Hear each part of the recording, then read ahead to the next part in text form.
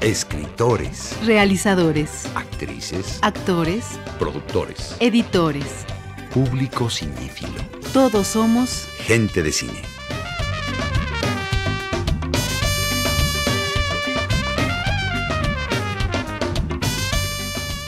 Entre el documental y la ficción, un encuentro con los que hacen, viven y disfrutan del cine.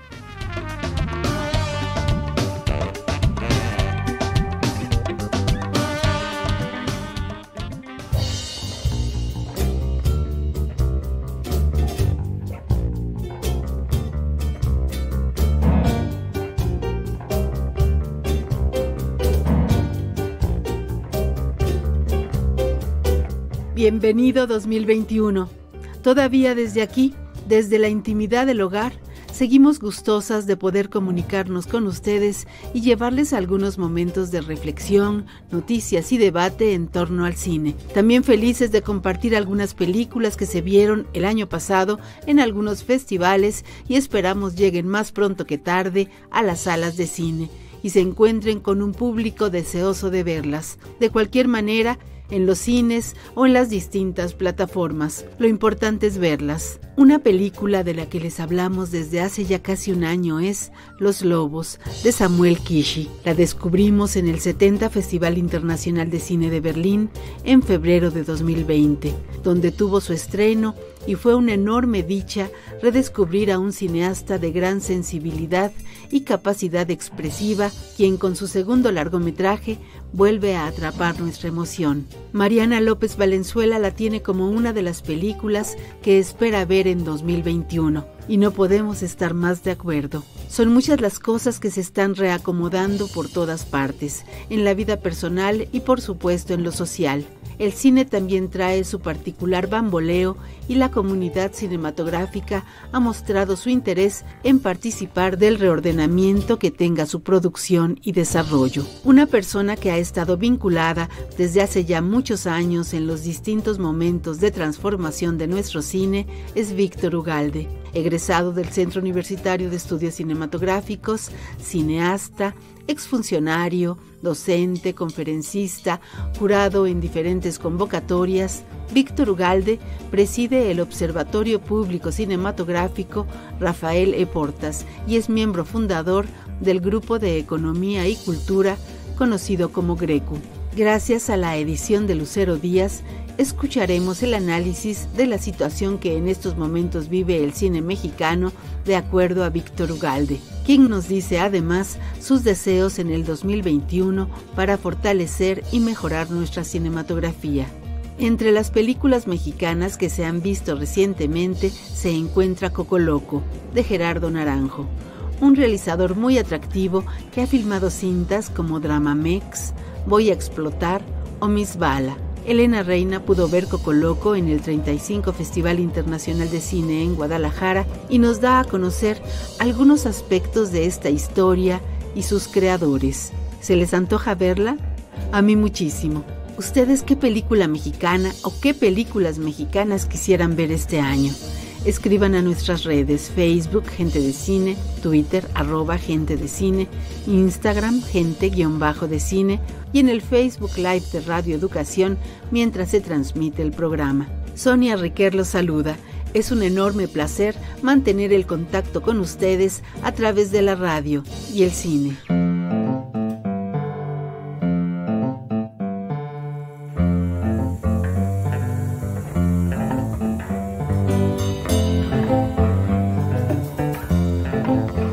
De Cine es un programa dedicado a los que hacen, viven y disfrutan del cine. Nos pueden escuchar los miércoles de 8 y media a 9 y media de la noche por el 1060 de amplitud modulada y en FM el 96.5.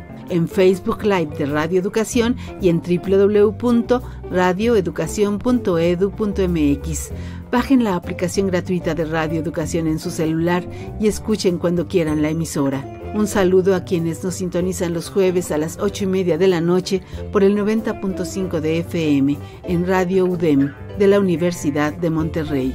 A las distintas emisoras de radio Universidad de Guanajuato que transmiten gente de cine los sábados a las 10 de la mañana, Radio Universidad de Guanajuato 970 AM y 100.7 FM, en León 91.1 FM y en San Miguel de Allende 91.3 FM a la radio de la Universidad de Ciencias y Artes de Chiapas en Tuxtla Gutiérrez y su 102.5 de frecuencia modulada.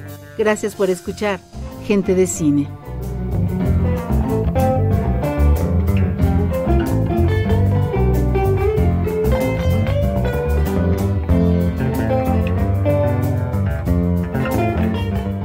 Desde el inicio del programa hemos escuchado música de Cinema Domingo Orchestra y seguiremos disfrutando más de algunas de sus interpretaciones. En la Ciudad de México esperamos su comunicación a través de nuestras redes. Facebook Gente de Cine, Twitter arroba Gente de Cine, Instagram Gente-de Cine y los miércoles entre 8 y media y 9 y media de la noche, mientras se transmite Gente de Cine, nos encuentran en Facebook Live de Radio Educación. Cambiar de lugar de residencia, cambiar de país, de lengua, es algo de la aventura que vive una manada muy especial y verdaderamente entrañable.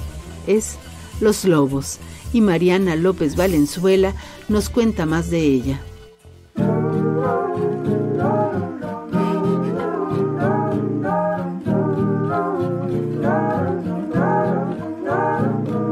Samuel Kishi es un director, editor y guionista mexicano nacido en 1984 en Guadalajara, Jalisco, México. Es egresado de la Universidad de Guadalajara de la licenciatura de Artes Audiovisuales. Se ha mantenido activo como director y editor principalmente en proyectos de cortometraje, largometraje y documentales. Luego de participar en 2009 en el Festival Internacional de Cine de Morelia con su cortometraje premiado Luces Negras, Kishi trabajó en 2013 en el largometraje Somos Maripepa, cinta que recorrió diversos festivales al alrededor del mundo. La película inspirada en la muerte de su abuela le dio un buen impulso al inicio de su carrera. Ahora Kishi está por estrenar su segundo largometraje titulado Los Lobos, el cual ha estado presente en varios festivales de cine internacionales, entre los que se encuentra la Berlinale, donde tuvo su estreno mundial, el Festival Internacional de Cine de Guanajuato, Morelia y en el 35 FIC en Guadalajara, entre otros. Los Lobos es una historia semi-autobiográfica que retrata la vida de una familia migrante que llega a Albuquerque, Estados Unidos, a buscar un mejor futuro. Mientras esperan a que Lucía, su madre, regrese del trabajo, Max de 8 años y Leo de 5 escuchan las lecciones de inglés que ella les deja en una vieja casetera. Construyen un universo imaginario con dibujos y anhelan que su madre les cumpla la promesa de ir a Disneylandia. Los pequeños exploran a través de la ventana de su departamento el inseguro barrio habitado por latinos y asiáticos. Para gente de cine, Samuel Kishi, director de Los Lobos, nos platicó de este enternecedor proyecto. Los Lobos es una historia, de hecho, sí, semi-autobiográfica y salió de un ejercicio de escritura, pues, de, que se llama Me acuerdo qué. Entonces, en ese, o sea, es como para enfrentar la página en blanco, entonces eh, comienzo a escribir Me acuerdo qué y mis primeras memorias, lo que se me vaya ocurriendo. Y en uno de esos ejercicios, pues me acordé de esta anécdota que nos ocurrió a mi mamá, a mi hermano y a mí cuando éramos pequeños. Mi mamá nos llevó a vivir a Santana, California, en búsqueda de, de una mejor vida. Entonces, mi jefa rentó un departamento y en ese departamento, este, pues ya nos tenían que dejar encerrados para salirse a trabajar. Entonces, de manera muy astuta, lo que ella hizo fue grababa eh, lecciones de inglés, los cuentos, cuentos, este, eh, las reglas de la casa, etcétera, y nos decía, si me extrañan, pónganle play a la grabadora. Entonces salía mi jefita y mi hermano y yo, pues empezamos, obviamente la extrañábamos, le poníamos play, pero aparte de estar con las lecciones y los cuentos de nuestra mamá grabadora, él y yo comenzamos a construir un, imaginario con grabaciones que también nosotros empezamos a hacer, pues hacíamos nuestros programas de radio y todo eso. Entonces, ese fue como el, detonante de, de, la historia. Y más adelante, pues, lo que uno tiene que hacer es socializarlo, pues, lo socializas con tus colaboradores, la gente creativa del crew, eh, con la investigación, con toda la literatura, cine que, que puedas ir este, absorbiendo. Y eh, aparte de eso, pues hicimos investigación. Nos fuimos a Estados Unidos, a Santana, donde, donde ocurrió la historia originalmente, y este, empezamos a hablar con la comunidad. Tengo una prima, este, Julie eh, Leopo, que es este, también fotógrafa, documentalista, que hace un trabajo fotográfico con la comunidad de migrantes allá en Santana, entonces nos conectó con mucha de, la gente de la comunidad, empezamos a hablar. Marta empezó a trabajar también con, con, gente de la comunidad, con más mujeres migrantes, y pues bueno, de ahí, de ahí como dicen los norteños, de ahí para el real. Y bueno, cuéntanos quiénes son los lobos. Por pues los lobos es una manada, es una familia pequeña compuesta por Lucía, la madre, Max, el hermano mayor, y, Leo, el hermano menor.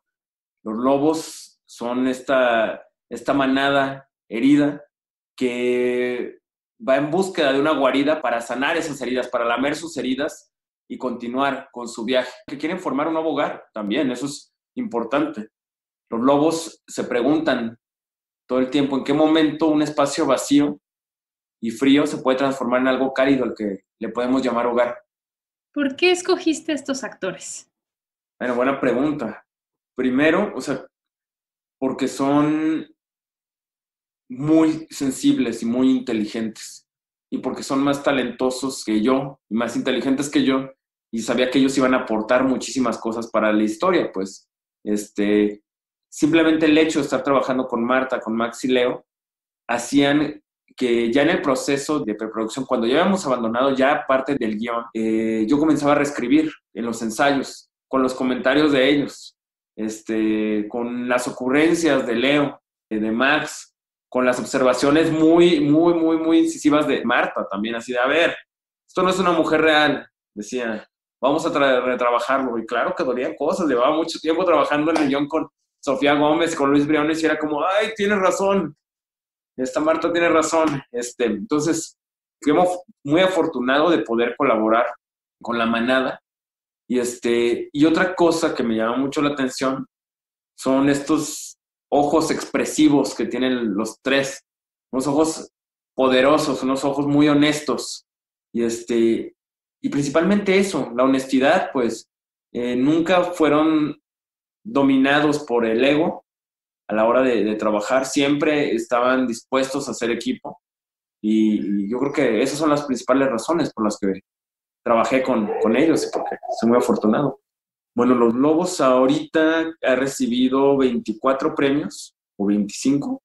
Este, y por los más significativos que ha recibido de entrada fue el festival, en el Festival de Cine de Berlín, Gran Premio del Jurado en la sección Generation K Plus y el Premio de Cine por la Paz es también uno como muy fuerte, porque Berlín fue un trampolín para la carrera internacional de los globos.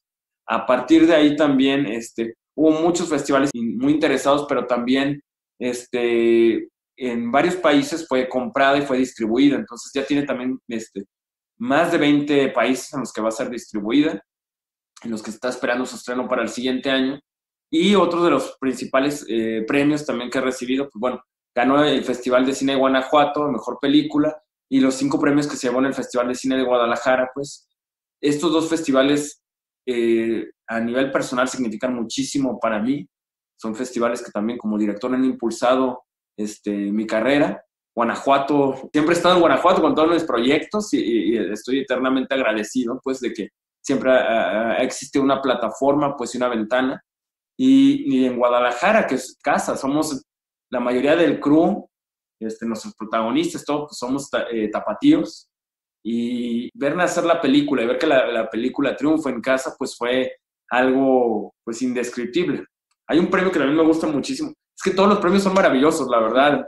Y muchos de, los premios han sido en festivales también de cines para niños y, este, y adolescentes. Y entonces ha sido, la respuesta del público ha, sido interesantísima, potente. En Alemania, el, el Lucasfilm o en Nara, el Festival de Cine de Nara, este que es el Festival de Naomi Kawase, que yo me declaro completamente fan del cine de Naomi Kawase, ganó el, el Crystal Chica, y, este, y es una película que, que Naomi Kawase seleccionó y todo eso, entonces, o sea, ya yo creo que estoy hablando como fan, y de, que digo, para mí fue muy importante. ¿Y por qué es importante que exista una película como Los Lobos? Es una película que habla de empatía, es una película que habla de resiliencia, es una película este, que habla de solidaridad y creo que también es la mirada de los niños, pues. Hay dos cosas que se me hacen muy importantes, o sea, el retrato de personaje de Lucía, que más adelante Marta te podrá contar más, pues, pero es este, la construcción también de un personaje eh, real, de mujer, pues, este, no una madre estereotipada ya, sino eh, más, más, complejo, y también la mirada de los niños ante, este, ante la oscuridad, pues, ante temas como la migración, la unión familiar, o sea, son temas también, este, muchos de los que abordan los lobos son temas que pueden ser ríspidos, pero bajo su mirada también este, amortigua y vuelve a los lobos una película eh, tierna, que eso era muy importante contar. Para mí era muy importante hacer una película que eso, estuviera llena de ternura, pues, y ya en un nivel también muy personal. Es una película que yo quería que mi mamá viera, que puede convivir entre un mundo art house de festivales, pero también puede convivir en un mundo este, de un público un poco más masivo, pues, y que puede ser una película familiar sin perder también esta, eh, e, este comentario social y este discurso también fuerte. ¿Ya tienen fecha de estreno? Sí, va a ser el 30 de abril de 2021.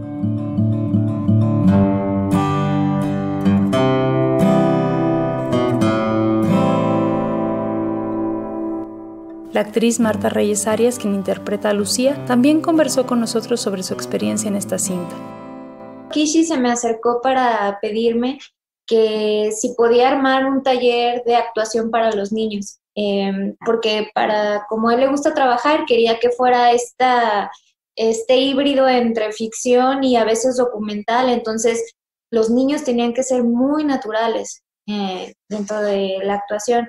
Entonces, pero a la vez había como problemas, porque, bueno, no problemas, como retos, porque los niños solo pueden trabajar seis horas al día. Los adultos normalmente en un día de rodaje trabajamos 12 horas. Entonces, la mitad de tiempo, pero todo tenía que salir bien. Entonces, teníamos que hacer que los niños pudieran ensayar las escenas sin perder la frescura y que fueran capaces de improvisar y hacer como todo muchas veces y entonces necesitábamos como un método de trabajo que, pues más bien desde la enseñanza, o sea, partir desde cero para poder llegar hasta allá. Entonces eh, me uní ahí al trabajo y él me dijo, no te invito como actriz porque creo que estás muy joven para este personaje, pero pues te interesa y como a mí la historia se me hizo muy bonita y la intención y todo, dije, pues no me importa, yo quiero ser parte. Y ya estando ahí dentro del proceso, yo necesitaba eh, un reel, que es como un currículum en video. Entonces, como Kishi también edita, le pedí si me hacía el favor de ahí editarme eso. Y cuando, pues se tuvo que chutar todo mi material, todo lo que ya había hecho. Y entonces, bueno, él me dijo que cuando lo estaba haciendo, que ya pensó, ah, no, creo que sí podría hacerlo. Y entonces ya me, me dijo que si quería hacer una audición para la película y ya pues me fui de, con ellos al scouting a Santana, California y allá grabamos como un pequeño ejercicio y todo eso que fue como mi, mi casting y ya después de unos meses ya me invitó como más formalmente al proyecto. Yo creo que no es para nada complicado trabajar con niños, o sea, finalmente son personas, están chiquitos, pero son personas igual con deseos, con, frustraciones, con, con, todo, como cualquier persona. Lo único que creo que necesitan es un poquito más de tiempo y de paciencia. Si nosotros asumimos que ellos eh, no saben cosas o no respetamos su inteligencia, ellos lo sienten y entonces se ponen difíciles. Pero yo creo que es cosa de ser honestos las dos partes y es muy fácil. Creo que sobre todo para actuar, actuar es jugar y los niños juegan todo el día, independientemente con qué jueguen, eh, ejercen roles y eso se hace dentro de la actuación. Entonces, para mí ellos son como los profesionales porque tienen de experiencia todo el día. Entonces, creo que es muy fácil entrar a que jueguen, muy, muy sencillo. ¿Hubo alguna escena que recuerdes que sea como muy complicada con ellos o muy significativa para ti? Pues hay una escena eh, que es como la escena de conflicto mamá-hijo, que a mí me, me, imponía, digamos, porque pues es, eh, la escena va creciendo y llega a un punto donde pues ya es, este, eh, podría, pudo haber sido difícil, pero la verdad es que Max fue muy honesto y todo el tiempo le estuvimos preguntando qué necesitaba, con qué se sentía cómodo y yo le decía a Kishi, pues hasta donde él quiera, como él quiera, yo lo voy a respetar porque al final pues él, él es el afectado. eh, Creo que solamente esa escena, pero la verdad es que no fue difícil porque había mucha comunicación entre todos. Fue más bien ponernos de acuerdo y ser como, eh, pues darle el espacio a todo para que sucediera. ¿Qué le dirías a la gente de cine que nos está escuchando para que vaya a ver Los Lobos? Les diría que si tienen ganas de ver una película que los haga sentir, que los haga reflexionar, con la que se quieran sentir identificados con, su familia, con sus hermanos, con su mamá, eh, que la vean. Si también son migrantes, también se van a identificar o si conocen a alguien, si mudaron alguna vez de, de ciudad, de casa, de colonia, también se pueden identificar. Y es una peli que es tierna, sea, creo que es una peli en la que no van a ir a sentirse violentados, pero no es una peli que te va a, dar todo fácil, sino va a respetar tu inteligencia, pero te va a hacer sentir y creo yo que bonito.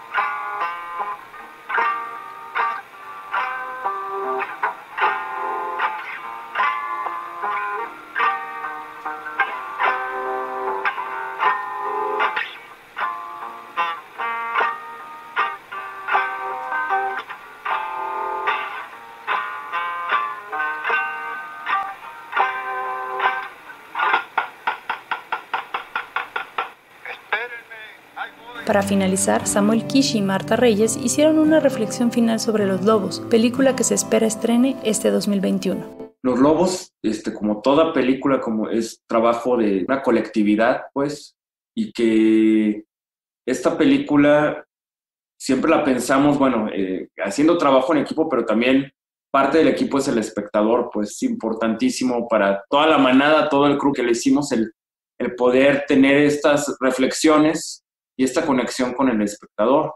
Entonces nos encantaría que para, para el 30 de abril pues este, pudieran asistir a las salas de cine si es que la pandemia nos lo permite. Y, este, y seguir dialogando, seguir dialogando con esta película. Tenemos las redes sociales muy activas. Este, nos pueden encontrar este, tanto en Instagram como Twitter, como Facebook, como Los Lobos Movie. Y, este, y siempre contestamos y siempre estamos todos este, muy, muy abiertos a seguir con este diálogo. Retomando un poquito lo que decías, creo que el cine eh, termina de suceder cuando hay espectadores. Entonces, eh, estaría bien padre que vayan a ver la película para poder eh, como terminar de que este mensaje llegue. Que vayan a ver la película. sí. No, y muchas gracias por, por el espacio. O sea, y el espacio de gente de cine, la neta es que ustedes y todos su auditorio son bien chidos y, este, y aparte, pues aferrados y, amantes de, del cine y es esta cosa de que me, me, encanta cómo hay una comunidad, pues, con el programa y cómo, cómo todos son, eh, todas y todos son muy participativos. Entonces, este, no, pues es, es un encanto siempre estar platicando para gente de cine. ¿El siguiente proyecto? Sí, estoy ahorita trabajando en tres proyectos. Uno, este, voy a retomar, eh, digo, es con Marta, eh, va a ser en Guadalajara, y voy a retomar un personaje también de mi primer película, eh, Somos Maripepa, a este Alex también, ahí van a convidar entre, en las tierras tapatías. Y otro proyecto se llama Londra ha dejado el nido, y es de una pareja de, de ancianos de, la sierra en el sur de, México, que van a hacer eh, un, viaje, es un road trip, eh, en búsqueda de su nieta. Pero como no tienen dinero, este, eh, empiezan a hacer, este, para juntar lana, llegan a todos los campos de, siembra, de pizca y cultivo a, lo largo de la República hasta terminar en, en, Baja California, pues juntando esta lana y no hablan casi español. Entonces, es parte del tema también es como uno puede sentirse eh, extraño y extranjero en su propio país, pues aparte de hablar también de los desaparecidos y, todo eso, pero es, es también el, sentirse así, o sea, como un extranjero.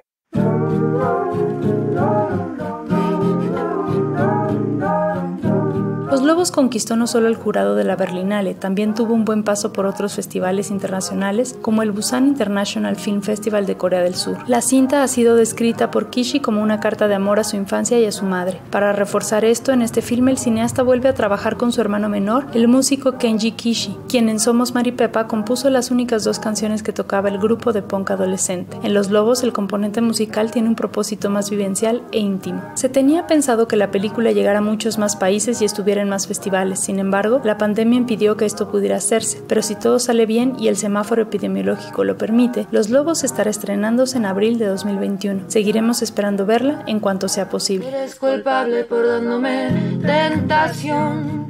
Para Gente de Cine reportó Mariana López Valenzuela. Y tus labios me buscan en la oscuridad y como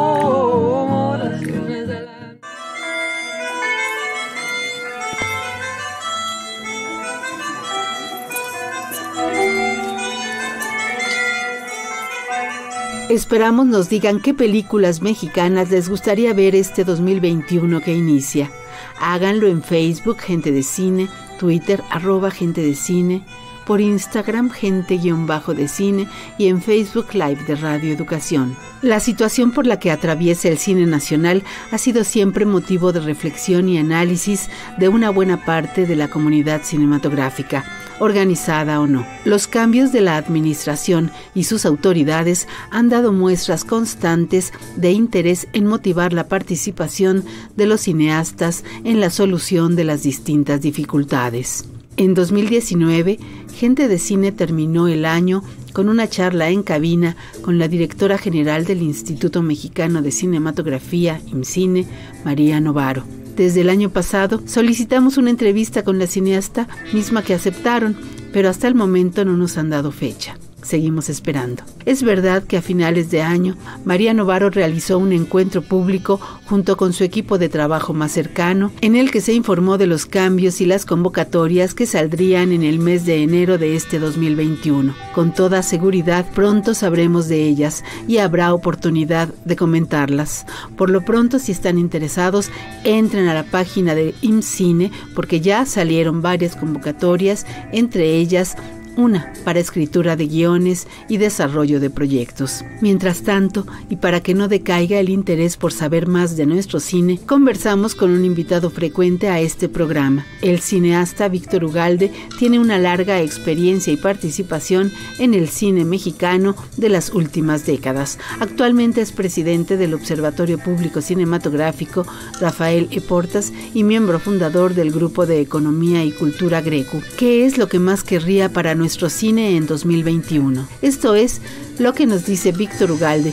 Por fin les vamos a hacer caso y vamos a hacer una nueva ley de cine en el cual se corrija la cadena productiva. Sin dinero, pero con una corrección de, los, de las condiciones del juego en la cadena productiva, podríamos sobrevivir todos y vivir muy bien y, y el país recuperar un camino ideológico y cosas por el estilo. Pero pues como eran los santos reyes y los santos reyes no existen, pues ya, estoy aquí con mi zapato vacío. Tenemos dos años hablando con el poder legislativo este, de acuerdo a las nuevas condiciones de la industria cinematográfica. La ley de 1998 que entró en vigor en el 99 sirvió para una gran reactivación, pero pues en estos 21 años, la realidad fílmica es completamente diferente y urge una gran reestructuración.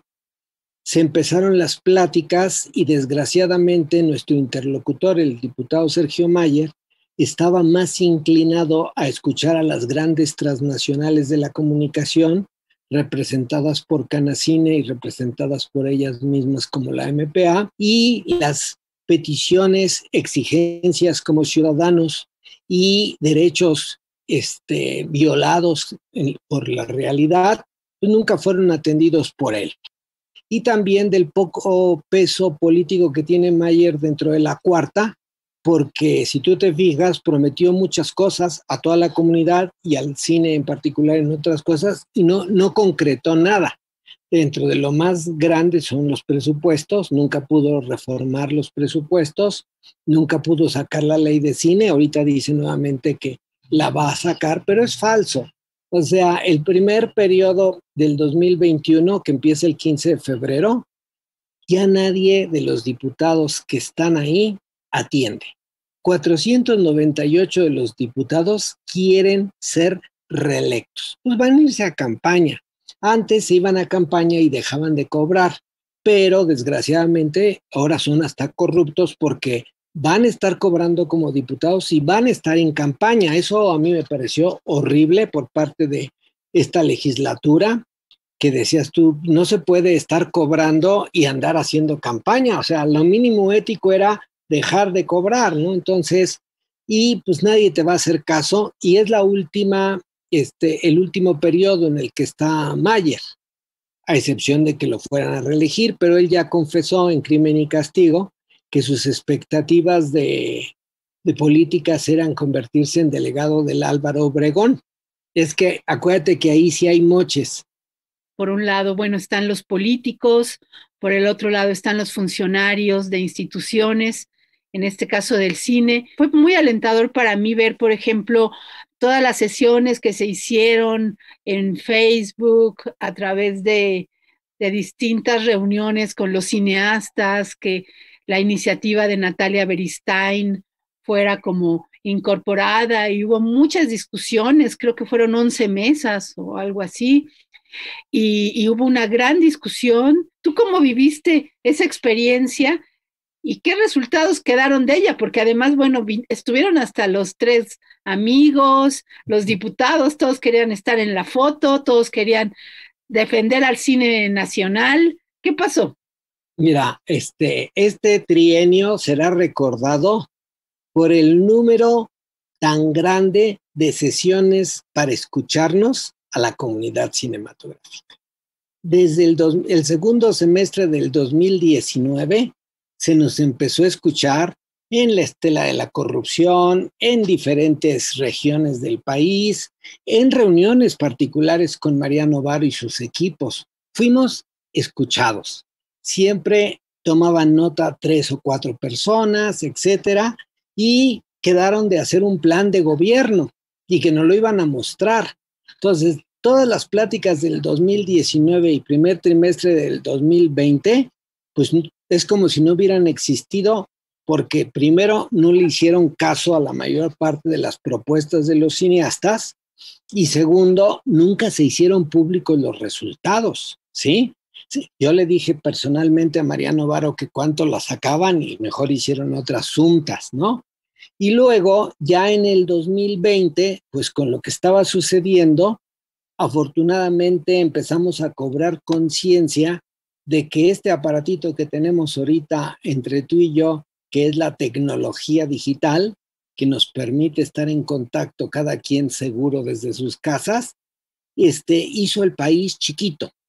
Y entonces, al hacerse el país chiquito, hubo un boom de opiniones, algunas bien fundamentadas, otras no tanto, algunos aprendiendo, algunos con las reservas todavía del respeto a la autoridad, como si fuera tu papá sin derecho a réplica, pero todos estaban ahí. Estas 15 o 20 sesiones de Zoom, la, las, las, Zoomtitis del 2020, fue maravilloso porque se veía que había una comunidad en toda la República, una comunidad que no sabía bien lo que quería, pero lo que sí quería es que no siguieran las cosas como estaban y que cada quien proponía con mayor o menor sentido este, algunas cosas que podían funcionar para hacer cumplir lo que se supone que es el plan de gobierno de la cuarta, ¿sí?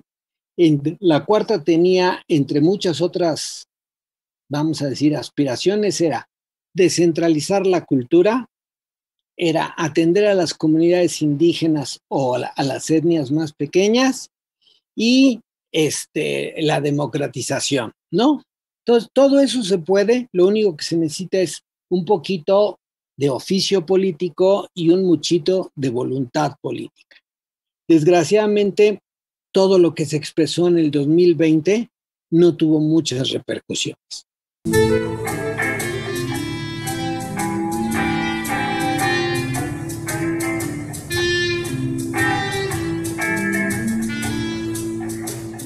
Quisiéramos recibir sus comentarios sobre el programa, sobre lo que quisieran que pasara en nuestro cine las películas mexicanas que les gustaría ver. Comuníquense por Facebook Gente de Cine, Twitter arroba Gente de Cine y en Facebook Live de Radio Educación sigamos escuchando los comentarios del presidente del Observatorio Público Cinematográfico, Rafael E. Portas, y si de lo que se trata en esta temporada es de pedir que los sueños se cumplan y los regalos lleguen, esto espera para el 2021 el cineasta Víctor Ugalde. Primero que nada, que los funcionarios de la cuarta T empezaran a, a conocer realmente cómo es la industria cinematográfica escucharan a la comunidad de viva voz, no a través de los funcionarios que no comprenden cómo es la industria, y que se tomen medidas que no cuestan dinero, pero que sí pueden hacer que la industria sea sana para los productores. Si me dan ese regalo, soy capaz de trabajar gratis un año, nada más llevándole todas las estadísticas del observatorio y llevando propuestas.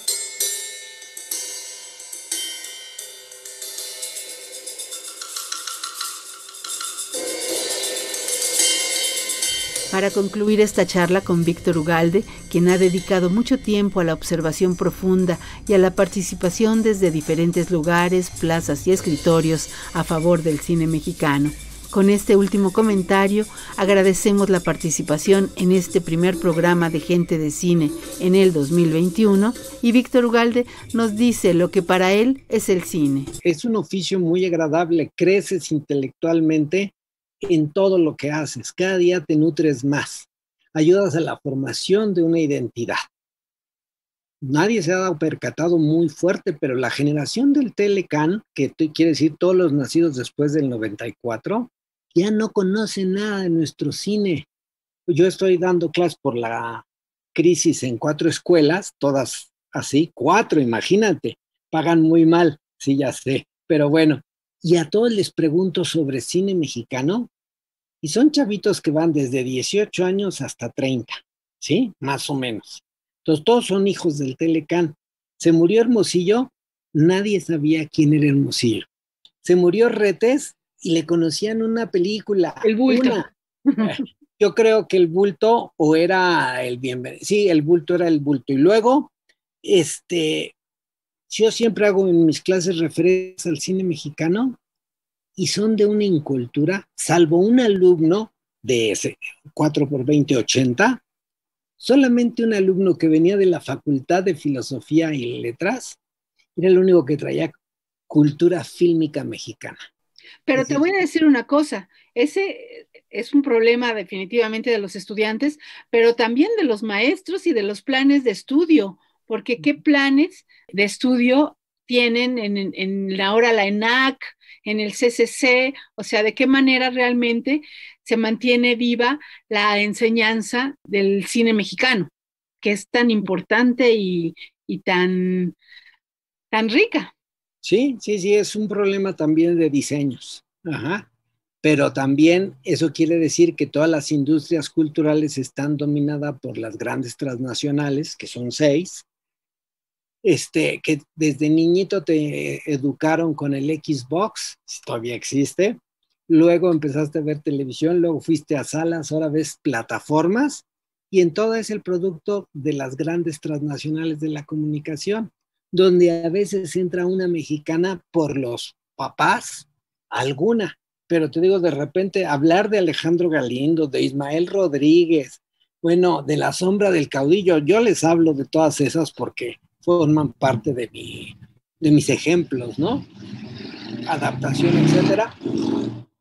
Pues me hacen el favor de verla, pero así, porque les dices, tienen que verla porque la vamos a platicar la clase que entra, ¿no? Mm. Pero no se motivan por ver más, ¿eh? Está muy difícil el panorama del siglo XXI para una industria cultural autónoma e independiente como quisiéramos el país.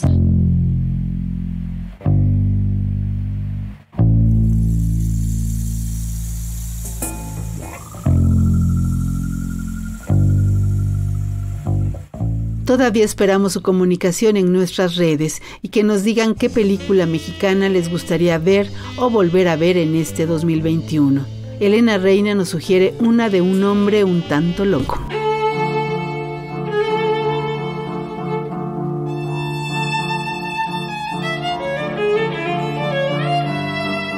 En este primer programa del 2021, continuaremos comentando algunas películas que esperamos lleguen a la cartelera de cine este año.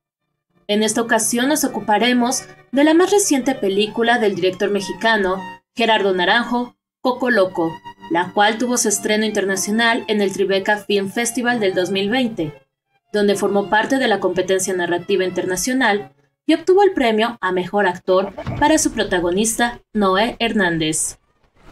Sí me acuerdo un chingo de las cosas que me decías. Que decías que la calle es de quien no trabaja.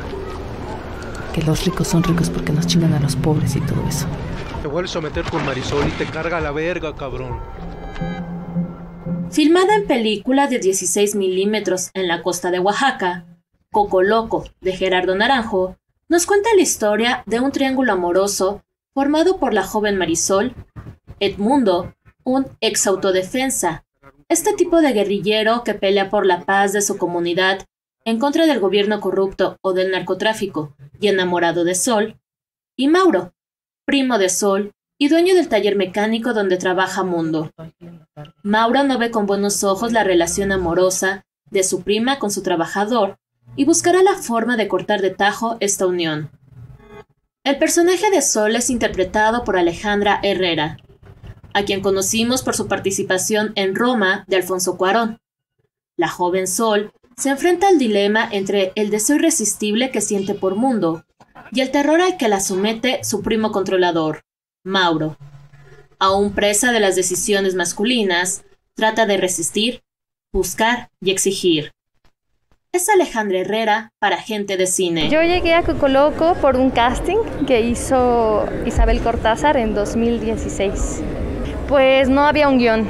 Entonces, a partir de eso, Gerardo nos dio algunas premisas, una pequeña historia que al final cambió, pero con base en eso, mis compañeros y yo improvisamos, platicamos, vimos, jugamos, fue como un laboratorio prácticamente, entonces sí fue una verdadera creación en conjunto, ¿no? No eres un eh, un, actor que está nada más siendo eh, dirigido ¿no? por, por, el cine. Justo se dice que el teatro es del actor ¿no? y el cine del director. Bueno, pues aquí no. aquí pasó de todo, aquí todos entramos.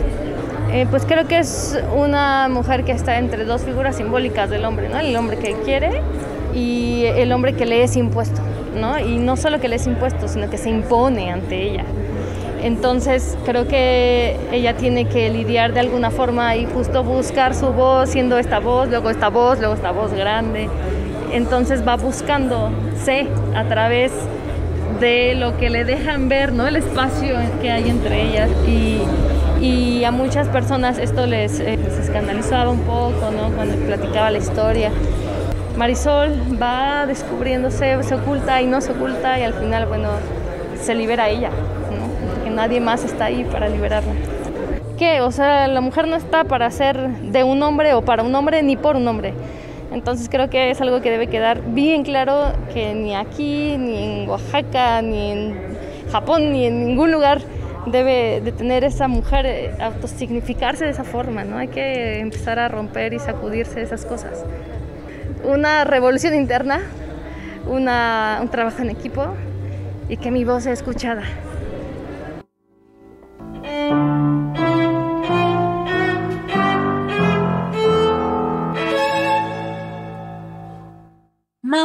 Es interpretado por Eduardo Mendizábal, quien busca controlar a Sol a través de su autoridad, en la que muestra el abuso que ejerce por su posición social dominante, y de esa forma separar a los amantes. Sobre los retos y la forma de trabajar con Naranjo, Eduardo Mendizábal comenta. Y bueno, hice el casting, no este, me dio réplica en el casting y después de algunos días me, marca Gerardo para decirme que, me había quedado en el proyecto, ¿no? Entonces eh, para mí fue sorpresivo, pero también muchísimo, eh, eh, muy emocionado ¿no? de, de, poder formar parte de ese trabajo, pero sobre todo, fíjate, sin, sin saber todavía de qué se trataba muy bien, de trabajar con un director como Gerardo, con la trayectoria que él tiene, ¿no? Eh, esta película, como bien viste, no se trata de buenos y malos, no, no se trata de villanos y el bueno y, la, y, y, la, y la, el malo, ¿no? Y ñaca ñaca, ¿no? Sino yo quise trabajar este personaje a través de la, eh, de la cotidianidad, de lo que somos en la vida, ¿no? A partir de, de, los enojos, de las frustraciones, de las incapacidades, de las insatisfacciones que, que son muchas en el ser humano.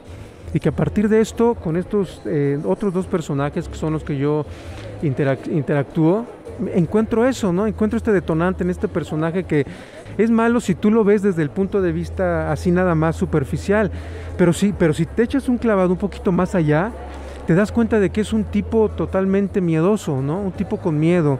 Y eso también es lo interesante, ¿no? Trabajar, como te decía al inicio, como con seres humanos, que así somos. Muy pocos directores, eh, muy pocos te dan la, oportunidad o te dan la libertad de, crear, ¿no? De preguntarte, de escucharte, de que, te, dejen proponer. Y en ese sentido nosotros tuvimos esa libertad desde que la llamada que te digo que me hizo Gerardo para decirme que yo me había quedado con el personaje, desde ahí empieza el trabajo. Cuando llego con él y me platica, mira, no tenemos un guion como tal, tenemos una idea, tenemos una estructura y es así y es así y es así quiero que en este tiempo de aquí a mañana pienses un poquito en este personaje que interactúa con esta, que esta significa un poco esto. Entonces te va dando un poquito o un mucho las bases de lo que es el personaje. Entonces te da esa libertad emotiva, esa libertad creativa para poder tú llegar con él con la confianza de eh, Gerardo, sabes que yo pienso que el personaje pues en esta escena tiene que llegar y inventar madres, no tiene que llegar y agarrarla de las greñas y llevarse las rastras, ¿no? Tiene Entonces Gerardo te da esa libertad y uno como actor de veras te lo digo, agradeces que te den esa libertad, que te escuchen, que te motiven cuando uno cuando uno propone para justamente encontrar ese punto eh, exacto que es eh, reflejar un ser humano no en su totalidad. Noé es el que representa la otra parte ¿no? de, de Mauro. ¿Cómo, ¿Cómo, yo me enfrento a esto eh, con un actor que además es espléndido y te da una réplica maravillosa en escena? ¿Cómo te enfrentas con eso? Bueno, a partir de la verdad, una, una verdad creada puntualmente a partir de los encuentros con el director, a partir de las propias propuestas del actor, para encontrar ese punto donde pareciera que el personaje deambula sin que le ocurra nada pero al mismo tiempo le ocurre todo, ¿no? La frustración, ¿no? Lo que tú bien acabas de decir, el querer, ¿no? Que la otra eh, eh, esté con él, que la otra haga lo que él quiera. Y al no, y al no encontrarlo, entonces viene esta parte de enojo con él mismo, con la vida, con el entorno. Entonces, frustración pura, ¿no? Entre muchas otras cosas.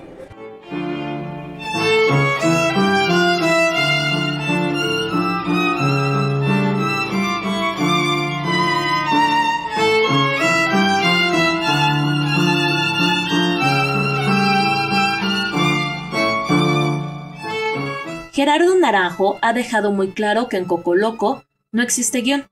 La película es un trabajo de improvisación entre los tres protagonistas. La historia no tiene una línea de tiempo convencional, sino que en ella se entremezclan recuerdos y momentos en los que se viaja constantemente del pasado al presente y viceversa. Noé Hernández, en su papel de Mundo, en Coco Loco, regresa a trabajar con Naranjo, ya lo había hecho con anterioridad en el filme que impulsó la carrera de Hernández, Miss Bala, del 2011. Sin guion y basándose simplemente en una escaleta, unas líneas que indican alguna acción o situación dramática, Noé tuvo que trabajar muy estrechamente con el director Gerardo Naranjo en el rol del autodefensa retirado que se ha enamorado de la prima de su jefe. Un ser que vive una complejidad de emociones, desde el más ferviente deseo por Sol hasta el arrepentimiento de sus acciones a través de una gran ternura. Por su interpretación de Mundo, obtuvo el valioso reconocimiento a Mejor Actor en el Tribeca Film Festival del 2020.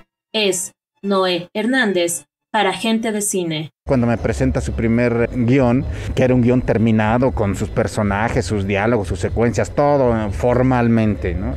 Y le digo, me gusta, pero hay ahí una especie de, son como tres historias que no terminan por cuajar y que tenemos como tres finales. Vamos a trabajarlo, perfecto, vamos a trabajarlo. Y cuando lo empezamos a trabajar lo desarticulamos de tal manera que solo nos quedó una escaleta, ¿no? Sin, sin diálogo, sin nada, nada más con que, bueno, después de aquí viene esta otra secuencia donde podemos hablar de esto y luego así, y así nos fuimos, y así armamos un, un esqueleto, un, una columna vertebral. Y yo pensaba que pues, con eso ya íbamos a trabajar con esa base, ¿no? Y ya cuando llegamos ya a filmar, pues resulta que ya estos, con su grupo de creativos, pues ya tenían así un pizarrón lleno con otra estructura, no totalmente diferente, pero sí diferente en el sentido de que se habían basado de la primera para entonces caer en esta y que al final solo, solo filmamos la primera parte, pues porque pues no nos alcanzó tanto el tiempo.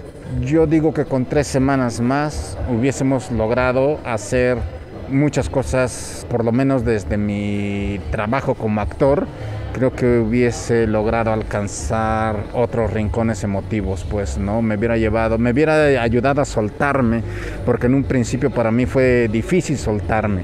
Cuando te quitan el lugar de confort, pues uno no sabe qué hacer como actor, pues, ¿no? Y nuestro lugar de confort es exactamente que tienes tu texto, lo analizas, haces un análisis psicológico, un análisis físico, tus antecedentes, a dónde va, tus motivos, bla, bla. No, aquí no, aquí llegabas y ¿Qué vamos a hacer hoy? ¿Quién sabe? Porque hoy no tenemos la camioneta, pero tenemos la habitación del cuarto de Doña Meche. ¿Qué podemos hacer en el cuarto de Doña Meche? Eh, mira, váyanse ustedes a, sus habitaciones y luego vamos, este, y luego ya les decimos qué vamos a hacer. Y así después de las 2, 3 de la tarde, eh, vénganse, vamos a ir a, este, a la habitación de Doña Meche y vamos a hacer una secuencia ahí de no sé qué, de no sé cuándo. Entonces en un principio yo me peleé mucho con eso, yo necesitaba mi confort, yo necesitaba que me dieran por lo menos una hoja de trabajo para llegar preparado con algo y no empezar de cero cuando dejé de pelearme con eso, empezaron a surgir las cosas de una manera maravillosa. empezó a volverse un, trabajo bastante orgánico, bastante vivo. Es decir, todo, todo momento se, estaba modificando. Hasta hoy se sigue modificando. Es decir, esta, esta versión es totalmente distinta a la que, eh, con la que ganamos Tribeca. Y siento que, que, es su manera de hacer cine de Gerardo. Es de una manera muy este, desarticulada, creo que también impulsiva pero creo que exactamente es lo es para mí es lo mejor lo más extraordinario de, de Jera que todo el tiempo artesanalmente está ahí trabajándole como un ratoncito de biblioteca dándole vueltas de dónde cómo lo puedo modificar hacia dónde lo puedo llevar cómo puedo articular este discurso. Este este este discurso por ejemplo está mucho más estructurado. El personaje de Ale creo que ahora se cargó a articular al personaje de Ale pues no y que entonces siento que que, que artesanalmente desde su casa o desde donde se encuentre, siempre trae como el proyecto aquí dándole vueltas y que eso lo ayuda a estar modificando constantemente. Creo que me encontré con dos personas, tres, profundamente compatibles. Uno es Lalo, que yo le tengo una confianza enorme cuando hay algo que no entiendo, de un texto que no entiendo, Lalo, mira, ¿qué te parece este texto, güey? O, hacia dónde me está llevando este texto, ¿qué es lo que me quiere decir este texto? Generalmente yo siempre cuando analizo un guion, no lo analizo a partir de lo que dice, sino exactamente de lo que no dice. A mí me encanta el subtexto, lo que está detrás, lo que no se dice. Y luego me encontré una cómplice que fue Ale, ¿no? Que, que, dentro de su relajo, porque ella como que a mí las teorías, no, güey, a mí díganme qué es lo que tengo que hacer y lo hago.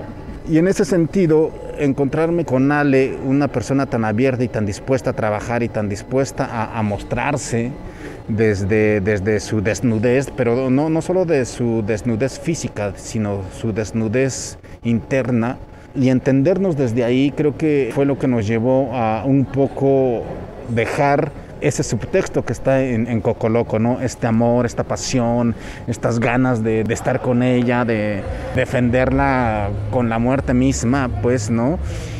Pero al final, pues somos humanos, pues, y al final, pues somos estos tres pinches güeyes inseparables, que nos jodimos la vida, pues, ¿no? Que nos, que nos desquebrajamos, que nos desestructuramos.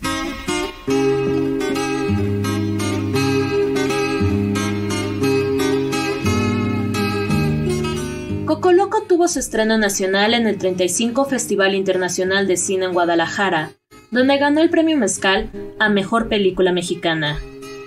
Para Gerardo Naranjo, Cocoloco es un intento por conocer más de cerca las nuevas formas de relacionarse a través de las redes sociales, las cuales juegan un papel muy importante en la historia de este triángulo amoroso. Respecto a su estreno, el director ha dicho, cualquier streamer y distribuidor que nos ayude mostrando esta película, les aseguro no se arrepentirá. Es un poema onírico que se puede disfrutar. Esperamos que esta historia de amor, guerrilla y celos llegue en este 2021 a las pantallas mexicanas. Mientras tanto, pueden visitar la página www.cocoloco.com.mx. Cocoloco se escribe con puras K. Para gente de cine, Elena Reina.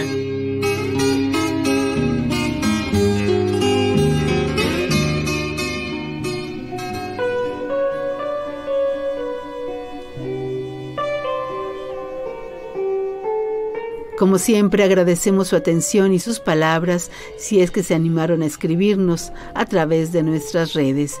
Y si no, esperamos lo hagan. Anímense y escriban. A Facebook Gente de Cine, Twitter arroba Gente de Cine, en Instagram Gente-de Cine y en Facebook Live de Radio Educación. Nuestro deseo más grande es que cada quien encuentre y tenga lo que más desea y que trabaje para conseguirlo que la actividad en el cine siga tan intensa y deslumbrante como la ha sido hasta ahora, con todo y lo que estamos viviendo.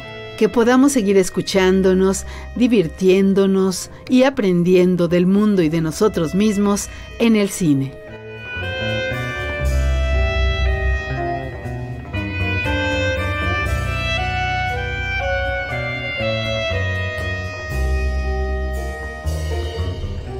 Gracias, abrazos y los mejores deseos para todos y muy especialmente para el equipo de gente de cine. Antonio Fernández, Mariana López Valenzuela, Lucero Díaz y Elena Reina. Al micrófono Sonia Riquer. Los invito a escuchar la retransmisión del programa en Radio UDEM de la Universidad de Monterrey los jueves a las ocho y media de la noche en las estaciones de Radio Universidad de Guanajuato, en San Miguel de Allende, en León y en Guanajuato Capital, los sábados a las 10 de la mañana, y en la radio de la Universidad de Ciencias y Artes de Chiapas, en Tuxtla Gutiérrez. Este 2021 seguiremos con ustedes como cada semana, saludándolos desde la Ciudad de México los miércoles a las 8 y media de la noche en un encuentro con gente de cine.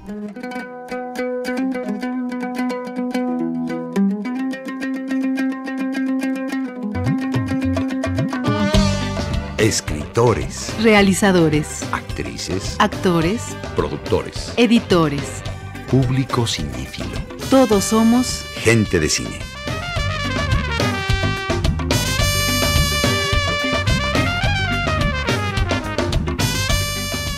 Entre el documental y la ficción, un encuentro con los que hacen, viven y disfrutan del cine.